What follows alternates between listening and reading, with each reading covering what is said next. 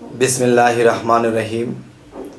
হে সমস্ত জগতবাসী আজ আমি শাহিম আলী চিস্তি আপনাদের সামনে যে আলোচনাটি নিয়ে হাজির হলাম, সে আলোচনাটি হলো যে মানুষ শরীয়তের ইবাদত করুক বা পীর মুর্শিদ ধরুক, কিন্তু তাদেরকেও শয়তান আটকে দেবে। আচ্ছা যদি পৃথিবীতে শরীয়তের ইবাদত কেউ করে, তাকে তো শয়তান আটকাবেই। যারা পীর মুর্শিদ ধরেছে, এদেরকেও শয়তান আটকে দেবে। তো এখন বিষয়টি হলো, শরীয়তের ইবাদত করলেও আটকে দেবে। কথার যে প্যাচটি হলো, শরীয়তের ইবাদত করলেও শয়তান আটকে দেবে। পীর মুর্শিদ ধরে আল্লাহর ইবাদত করলেও শয়তান আটকে দেবে। হায় হায়, তাহলে মানুষ কি করবে? মানুষ কি করবে? এবং কোনটা করলে শয়তান আটকাতে পারবে না? আজকে সেই বিষয়ে আলোচনা করব বিদায়। এই আলোচনাটি আপনাদের সামনে আমি পেশ করছি। কারণ শরীয়তের ইবাদত করা হয়েছে, পীর ধরে, মুর্শিদ ধরে মারফতের ইবাদত করা হয়েছে। এখান থেকে এমন কোনো ব্যক্তি, এমন কেউ আছে তারা শয়তানের প্রবঞ্চনা থেকে প্রয়েশ যে শয়তানের যে কিছু বিষয় আছে, তিনি জিজ্ঞাসা করবেন, কোথায়? বেহেস্তের দরজায় সে দাঁড়াবে। তখন বলবে, তুমি কোথায় যাও? আমি এতদিন আল্লাহর ইবাদত করেছি, আমি শরীয়তের হাকাম মেনেছি। কিছু কিছু হাদিসে আছে যে যারা শুধু শরীয়ত করবে, এরা ফাসেক। যারা শুধু মারেভাত করবে, এরাও ফাসেক। যারা শুধু তরিকত করবে, এরাও ফাসেক। তার মানে আমার এই মানব দেহটা আগুন, পানি, বাতাস, মাটি, আলো, এই পাঁচটা বিষয় দিয়ে আমার দেহটা তৈরি। একটা ছাড়া কিন্তু চলবে না দেহটা। তাহলে শরীয়ত, তরিকত, হাকিকত ও মারেফত, চারোটাই লাগবে। আচ্ছা। একটা কম করবে, তো আমরা আটকা পড়ে যাব। কারণ মাটি, আগুন, পানি, বাতাস, আলো, আমরা পাঁচটাই ব্যবহার করেছি। আচ্ছা তো এখন যে বিষয়টি, দেখেন, আল্লাহ কিন্তু আমাদেরকে পৃথিবীতে যখন পাঠিয়েছেন, তখন আমরা কিন্তু পিছনে জন্ম, জন্মান্তর, সৃষ্টিকুলের এবং জন্ম, জন্মান্তরের বিষয়গুলা আমাদের কিছুই মনে নেই। তাই বলা হয়েছে একটি কথা। মস্তবি শরীফেও বলেছেন এই কথাটি হজরত আলীও এই কথাটি বলেছেন। কি বলেছেন? যে, মান আরাফা নাফসাহু ফকত আরা রব্বাহু। অর্থাৎ যে নিজেকে চিনতে পারে, সে তার রবকে চিনতে পারে। আচ্ছা এখন যে নিজকে চিনে, সে তার রবকে চিনে। তাহলে কেউ ভাবতেছে নিজের ভিতরে যে আত্মা আছে, নিজের ভিতরে যে নিরঞ্জন আছে সেটাই বুঝি। তাকে চিনলেই বুঝি রব রবকে চিনা হয়। না, এভাবেই কিন্তু মানুষ বুঝতেছে, আপনারা কিন্তু এভাবে বুঝবেন না। আর কথাটি, এটা নয়, এটার মূল বিষয় হলো কি, যে আপনি এই মাটির দেহ নিয়ে দাঁড়িয়ে আছেন। আপনি কে? আপনি কে? আপনার পরিচয় কি? তাহলে আমি কে? আমার পরিচয় কি? এইটুকু কথা কিন্তু আমি জন্ম, জন্মান্তরে নিজেকে হারিয়ে ফেলেছি, আমি জানি না কে আমি। তখন একজন কামেল মুর্শিদের কাছে গেলে তখন তিনি আপনাকে, আপনার পরিচয়টুকু এই মানব দেহের মধ্যে দেখিয়ে দিবে যে, বাবা, দেখো তোমার নাম পরিচয়। আচ্ছা সেই বেহেস্তের দরজার মধ্যে শয়তান দাঁড়াবে। কে তুমি তোমার পরিচয় কি? যদি তুমি বলো আমি ইমুক, তাহলে সেই নামটি তোমার মানব দেহ কোরআনের মধ্যে কোথায় লেখা? এক। দ্বিতীয় কথাটি হলো, শয়তান বলবে, আমি তোমাকে বানিয়েছি। তোমার মতো মানুষকে আমি বানিয়েছি। সে বান্দা বলবে, না, আমাকে আল্লাহ বানিয়েছে। শয়তান বলবে, না, আমি বানিয়েছি আর বান্দা বলবে, না, আমাকে আল্লাহ বানিয়েছে। ঠিক আছে।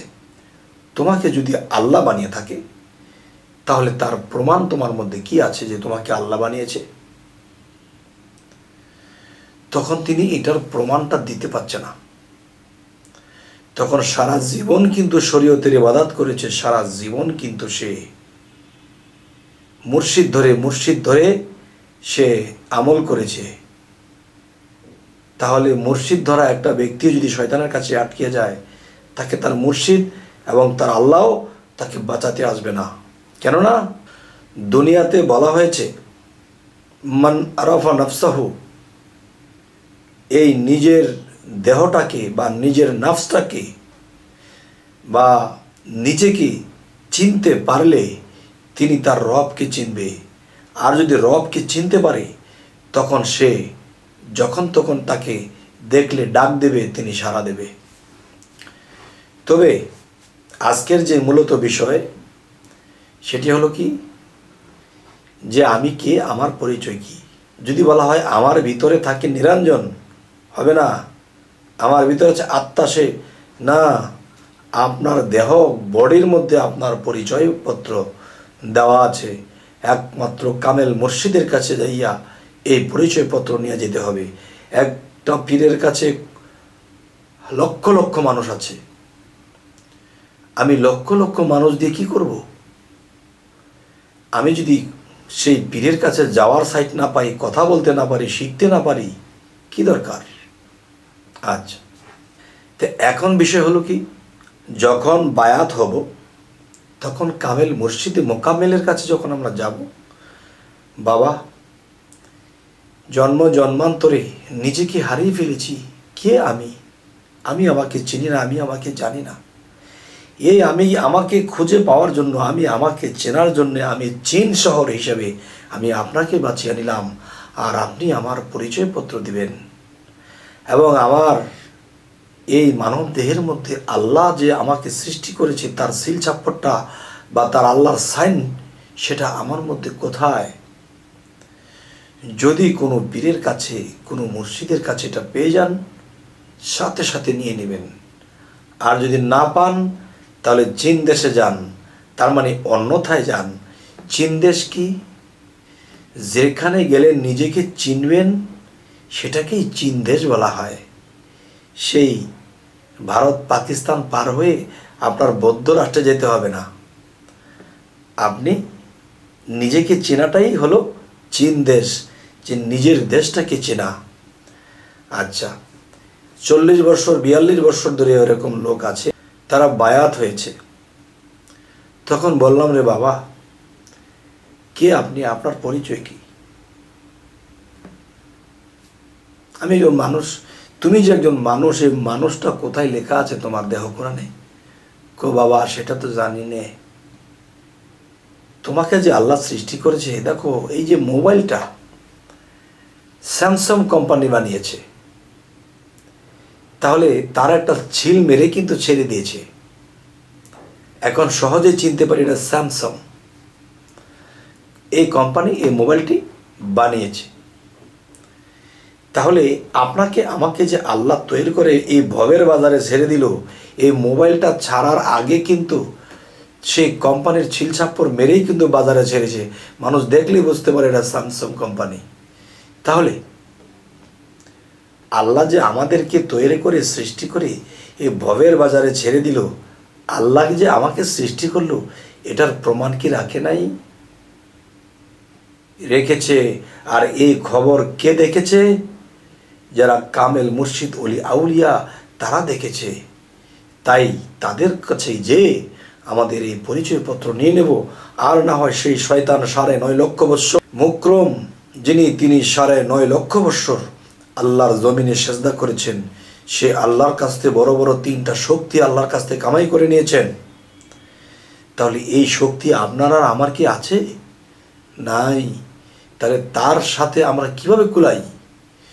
তখনই কুলাতে পারব। যখন দুনিয়াতে আছি একজন কামেল মুর্শিদের কাছে যাইয়া তখন আমার নিজের পরিচয়, আল্লাহর পরিচয়, আমার মধ্যে শয়তানের পরিচয়, আমার মধ্যে ফেরেস্তাদের পরিচয়, দেবতাদের পরিচয় এবং সমস্ত সৃষ্টির পরিচয়, পাক পাঞ্জাতনের পরিচয় আমার মানব দেহের মধ্যে আল্লাহ সুন্দর সেটিং করে দিয়েছে। তা এখান থেকে বায়াতের দিন দেখব আমার পরিচয় এবং পড়ব। আল্লাহর পরিচয় দেখব এবং পড়ব। তখন সেই হাসরের দিন যখন শয়তান আমাকে বেহেস্তের দরজায় আটকিয়ে দিবে, যখন সেই শয়তান আমাকে প্রবঞ্চনা করতে থাকবে, বিভিন্ন কথা বলবে, কিন্তু দেখেন, প্রবঞ্চনা করলেও কিন্তু সে মিথ্যা বলে না। সে সত্যই বলতেছে যে, আমি তোমাকে বানিয়েছি। দেখেন, আদম বডিটাকে কিন্তু এই মকরুম সে বানিয়েছিল। কেউ বলে, মাথাটা আল্লাহ বানিয়েছে, নিচটা আল্লাহ বানায়নি, নিচেরটা শয়তানকে দিয়ে বানিয়েছে। আচ্ছা বুঝলাম তাই। কিন্তু এই মানব দেহটা বানাইতে গিয়া কোন কোন জায়গায় কি আছে, সে কিন্তু জানে বাবা। কিন্তু আপনি, আমি কিন্তু জানি না। তাই বলি, সেই শয়তানের কাছ থেকে আমাদের বাঁচতে হলে সেই বেহেস্তের দরজায় দাঁড়িয়ে আমাদেরকে বিতাড়িত করে দেবে, যদি আমরা বলতে না পারি, আর বলতে পারলে সালাম দিয়ে ঢুকিয়ে দেবে। যাও তোমাদের স্থান জান্নাত। তাই আমি বলব, হে সমস্ত জগতবাসী যে দেখেন যে মাইক দিয়ে মুড়িত হচ্ছে, পীরকে চোখে দেখছে না, কাপড় দিয়ে মুড়িত হচ্ছে, বিরাট কাপড় ছেড়ে দিয়েছে, কাপড়ে ধরে ধরে মুড়িত হচ্ছে। আর কোরআনে কি বলেছে? হেরাসুল আপনি যাদেরকে বায়াত গ্রহণ করাচ্ছেন বা যারা আপনার হাতের উপর হাত দিয়েছে, তাদেরকে বলে দিন, তাদের হাতের উপরে আমি আল্লাহর হাত আছে। তাহলে আল্লাহ কি মিথ্যা বলে? যদি সত্য বলে, তাহলে আল্লাহর হাত সেই বায়াতের দিন আমাদের বুঝে নিতে হবে, দেখে নিতে হবে। তাই এখন বলব যে পীরের শিষ্য হোক বা শরীয়তের ইবাদতকারী হোক তাদেরকে শয়তান আটকিয়ে দেবে যতক্ষণ পর্যন্ত এই পরিচয়পত্রগুলো না পাবে। একেবারে আমরা বোকার মতো মৃত্যুবরণ করতে হবে এবং হাসরের দিন সে বোকা হয়ে আমাদের উঠতে হবে। কেননা আমরা যেই জিনিসগুলো জানা, যেই জিনিসগুলো শোনা বোঝার দরকার ছিল, সেগুলো আমরা করিনি, শয়তানের কাছে আমরা আটকা পড়ে যাব। তবে হে সমস্ত জগতবাসী আমার এই আলোচনাগুলো শুনলে কি আপনারা বিরক্ত বোধ করেন? দেখেন, আমি যে কথাগুলো বলেছি, এগুলা কিন্তু ইউটিউবে খুলে বলার জিনিস নয়, গোপন বিষয়। আল্লাহ কিন্তু এটাও বলেছে, যারা আমার গোপন বিষয়কে যেখানে সেখানে প্রকাশ করে, তাদের শাস্তি হবে। তার মানে গোপনের যে পরিচয়পত্র, আল্লাহর পরিচয় এবং নিজের পরিচয় এবং আমার মানবদেহের মধ্যে অনেকগুলো আরবি হরফের পরিচয় যদি এগুলো পেতে চাই, তাহলে আমাদের চ্যানেলটি আপনাদেরকে যা বোঝাচ্ছে, যে আপনাদেরকে বলা হচ্ছে ইঙ্গিতের মাধ্যমে। ইঙ্গিতের মাধ্যমে বলা হচ্ছে যাতে করে আপনারা এই জিনিসগুলা উদ্ঘাটন করে পেয়ে নেন। কারণ এখানে গোপন কিছু বিষয় আছে যা প্রকাশ্যে বলা যাবে না। আচ্ছা।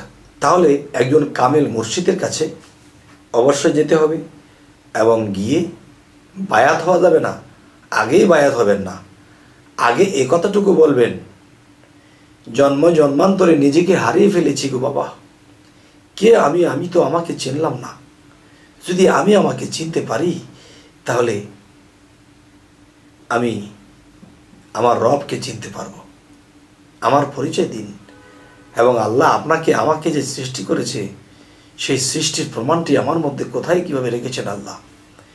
এই বিষয়গুলো যদি কোনো মুর্শিদের কাছে পেয়ে যান, আলহামদুলিল্লাহ, নিয়ে নেবেন। আর যদি না পান, তাহলে এখানেই বলা হয়েছে হজরত মোহাম্মদ সাল্লাহ সাল্লাম বলেছেন, যে শিক্ষার জন্য যদি তোমাকে চীন শহর যেতে হয়, তুমি সেটাই যাইও। চীন শহর কি? যে নিজেকে চিনেছে, তার কাছে যেয়ে নিজেকে চিনে নিতে হবে। তবে হে সমস্ত জগতবাসী কথা লম্বা হয়ে গেলে বিরক্ত হবেন না তো? তবে আজকের এই কথাগুলো খুবই গুরুত্বপূর্ণ আমার কাছেই লাগছে, তবে আপনাদের কাছে কেমন লাগবে জানি না। তবে এই জিনিসগুলো নিয়ে আমাদেরকে মৃত্যুবরণ করতে হবে এবং মৃত্যুর পরে হাসরে উঠতে হবে।